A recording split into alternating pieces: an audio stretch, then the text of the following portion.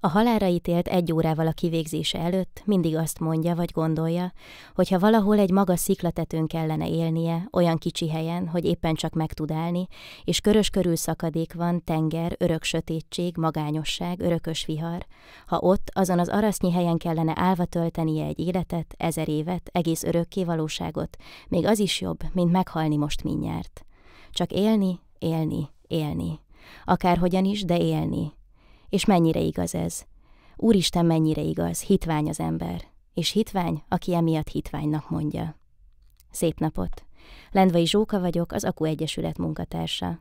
Önök a Forte Társulat Bűn és Bűnhődés című darabjának előnarrációját hallják.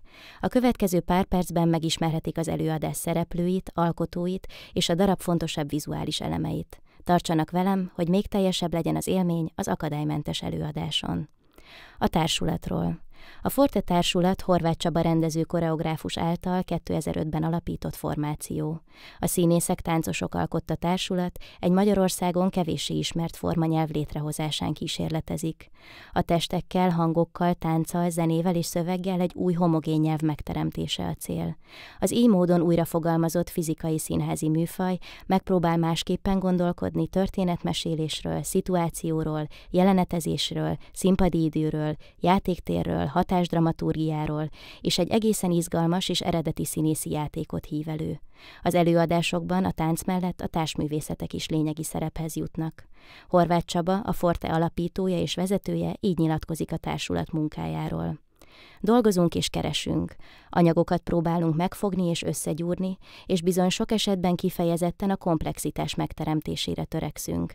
Máskor meg épp ellenkezőleg. Eldobálunk kifejező eszközöket, és inkább az egyszerűség felé megyünk. A tánc, a szöveg, zene és képzőművészet egysége természetes a modern színházban. Ezt nevezik kortárs színháznak. A tánc maga is képzőművészet. A darabról. Horváth Csaba, a társulat vezetője és a darab rendezője így nyilatkozott Dostoyevsky nagyhatású klasszikusának színpadi adaptációja kapcsán. Raskolnikov korunk embere, a hitelek elől menekülő fiatal férfi, aki a pénz átláthatatlan útvesztőjében vergődik. Szeretne kiszakadni a környezetéből, hogy a felsőbbrendű emberről alkotott elméletét érvényesítse, amiért a gyilkosságtól sem riad vissza. A realitástól egyre távolodó tehetség, álmok és víziók hatása alatt darabjaira zúzza az őt körülvevő világot, majd megpróbál újat építeni maga köré. Dostoyevsky az emberi lélek végtelen mélységeiben reszkedik.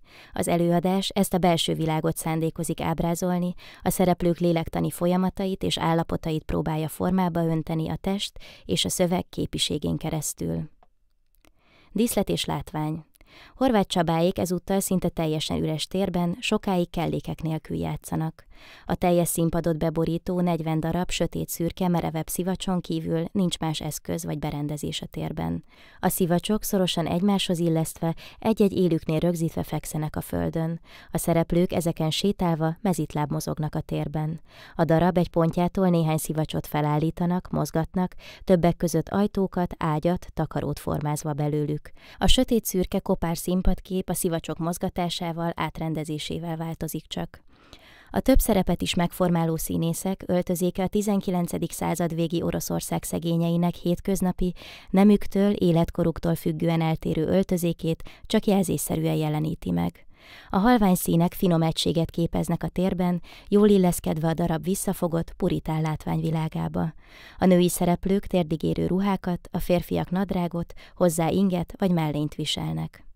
Színlap, szereposztás. Raskolnikov, Pallag Márton, Dunya, valamint Polja, Zsigmond Emőke, anya, azaz Katyarina Ivanova, Marmeladov felesége, Földe Ákinóra. Marmeladov, munkás egy és százados, Fehér László, Szonya, Ballér Bianca Gréta, egyetemi hallgató, Porfiri, valamint munkás kettő, Kádas József, Razumihin, valamint az orvos, Nagy Norbert, Luzsin, Krisztik Csaba, Svidrigajov, Andrási Máté, Amália Ivanova, valamint Nasztya, Blaskó Borbála, Zamjotov, valamint a pap és Ahilles, Horkai Barnabás, Mikolka, ezen felül Lebez Jatnyikov és a házmester, Hegymegi Máté. Alkotók, dramaturg Garai Judit, színpadi változat Garai Judit, Horváth Csaba, fordító Görög Imre, Gébeke Margit, színpadkép Pallós Nelli, zene Ökrös Csaba, Rendező Horváth Csaba. Az előadás hossza 220 perc, egy szünettel.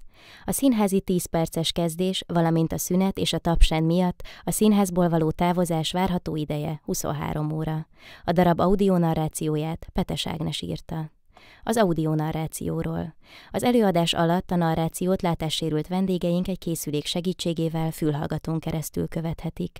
A narrációhoz szükséges eszközök limitált számban állnak rendelkezésre, ezért kérjük részvételi szándékát minél előbb jelezze az akadálymentes gmail.com e-mail címen, vagy a plusz 3630 813 45 34-es telefonszámon. Köszönjük a figyelmet, szeretettel várjuk Önt és barátait, a Forte Társulat és a Szkéné Színház Bűn és bűnhődés című akadálymentes előadásán.